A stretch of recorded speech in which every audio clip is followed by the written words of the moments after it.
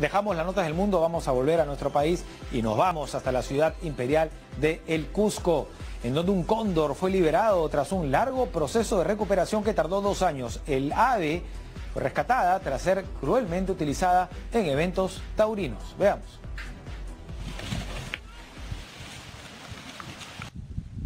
Abrió sus alas y emprendió vuelo hacia su hábitat luego de más de dos años.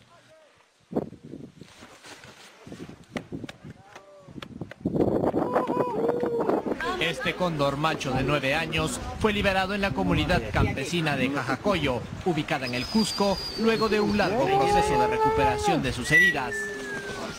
El ave bautizada como Marcapata Kuntur permaneció en un refugio temporal tras ser rescatada de un espectáculo taurino. En este evento resultó herido por un toro.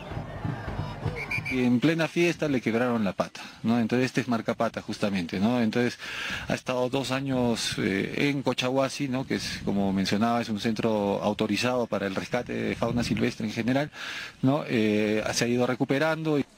Comuneros del distrito de Marcapata fueron los encargados de entregar al animal a la Policía Ecológica y el Servicio Nacional Forestal y de Fauna Silvestre. Durante un largo periodo, el cóndor permaneció bajo un estricto cuidado de veterinarios y personal especializado que ayudaron a su recuperación. Marcapata Kuntur llevará un chip GPS que permitirá monitorear su desplazamiento y obtener datos sobre el comportamiento en libertad de esta ave. De acuerdo al CERFOR, se estima que en todo el país hay menos de 2.500 cóndores.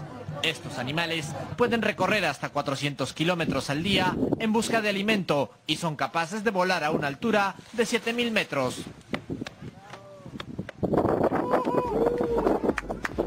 Una noticia de último minuto antes de despedirme porque ya...